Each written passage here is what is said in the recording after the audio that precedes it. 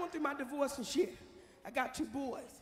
And my boys were my little soldiers. They pulled me through my shit. Because when you went through my shit, you know, I'm crying and shit, I'm in the dark in my room. They was like, man, fuck that nigga. Fuck that nigga. Fuck that bitch ass nigga. Fuck him. He wasn't strong enough to hang on. Fuck that motherfucker. I'm like, wait a minute now, that's your father. So that nigga ain't got no TV show. Fuck that nigga. Shit. We know who paying the mortgage in this motherfucker. That ain't the professor. Fuck him. So I'm like, yeah, fuck him. Fuck him. But we gotta eat hot dogs and beans because hmm, he getting half your shit.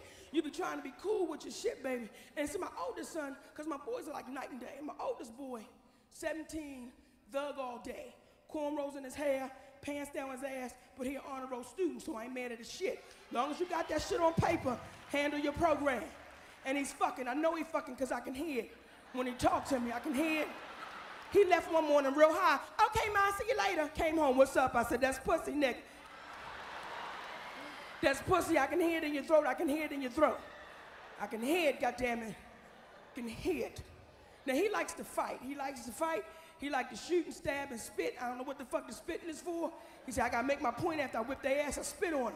Okay, but make sure you don't ever spit on me because you're gonna get fucked up real bad. Don't play that, spit, that spitting shit. That's some nasty shit. But he's a fighter and a cutter.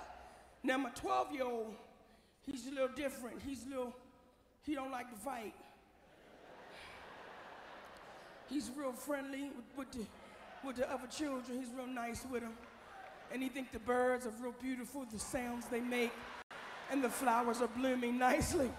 I'm like, he's a fag. Ain't this a bitch? Shit! Be tough, nigga. What the fuck is going on? Shit. In mine, baby, I'm like, fuck that in mine. So after I went through my divorce, you know, I just stayed home. I go to work, I come home every weekend, I sit down, we play little board games, Monopoly and shit, because I wanted to be mother of the year to let them know it ain't about no nigga. It's about y'all. I'm gonna stay home and do what the fuck I'm supposed to do. So they got tired of fucking with me, like, can you go to fuck somewhere?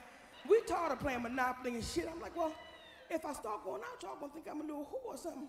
If I bring a little fella home, I don't want you to see me, you know, fucking no little fella if I bring him. He said, I got a bitch in the room right now. She's scared to come out. If you get the fuck up out of here let us do what the fuck we gonna do. You know, so I respect, I respect this shit. You know how, ladies, when you've been with somebody for so long, like I was with my ex-husband for 10 years. And for 10 years, he used to seeing me naked. You know, say, excuse me. I, I'm not gonna stop no more. I swear for God, I'm not gonna stop. You pimp niggas, sit down. We ain't gonna do this shit no more. No, no, the fuck more. Hang up, nigga. Hang, fuck that, hang up.